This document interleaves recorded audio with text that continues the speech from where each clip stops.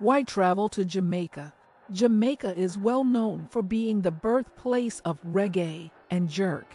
But the island has much more to offer. The country boasts some of the best beaches in the Caribbean. Stunning natural sights such as waterfalls and lagoons. And one of the world's rarest coffees. Top 8 reasons why it should be on your bucket list. 1. The beaches are spectacular. 2. It is the birthplace of reggae. 3. It is the home of jerk, for you can raft down the Martha Brae River. 5.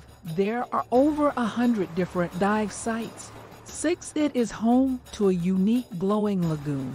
7. It produces one of the world's most coveted coffees. And finally, you can hike up a waterfall.